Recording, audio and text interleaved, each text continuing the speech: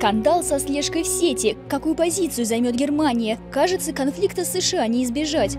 Оппозиционная социал-демократическая партия сделала скандал темы избирательной кампании. Знала ли о слежке канцлер Ангела Меркель и почему она не выступит с жестким заявлением?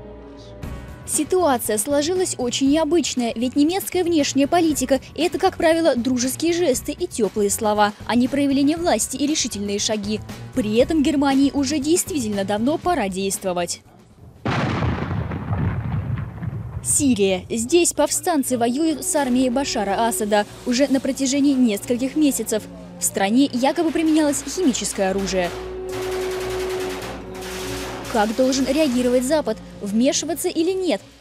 Президент США Барак Обама считает, что ждать больше нельзя. Он хочет начать поставки оружия.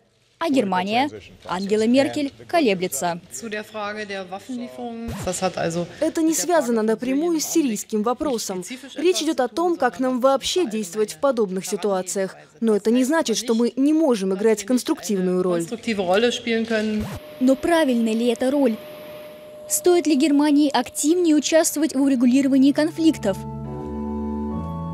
А если будут жертвы, как в Афганистане? Некоторые избиратели хотели бы, чтобы Германия выступала в другой роли.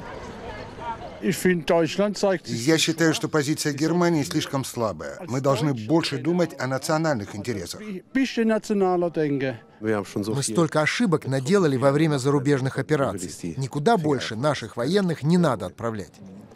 И оставаться глобальным игроком? Одно другого не исключает. Можно быть глобальным игроком, не применяя сил. Возникает ощущение двойной игры. С одной стороны, Гиде Вестервелли, глава МИД Германии, сторонник дипломатических переговоров. С другой стороны, немецкая военная промышленность, экспорт оружия и танков, не без поддержки правительства Германии. Стремление к миру с одной стороны и экспорт вооружений с другой – это применение двойных стандартов.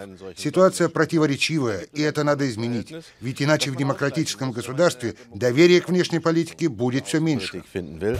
В оппозиции считают, что правительство зашло слишком далеко, пытаясь одновременно заботиться о сохранении мира и поставках оружия. В левой партии приводят в пример недавние события. Госпожа Меркель решает вопросы внешней политики с оружием в руках. Если это вклад Германии в арабскую весну, то и наша демократия ушла недалеко. Но избиратели, видимо, не очень прислушиваются к тому, как оппозиция критикует политику Меркель. Она по-прежнему популярна и рассчитывает на победу на выборах.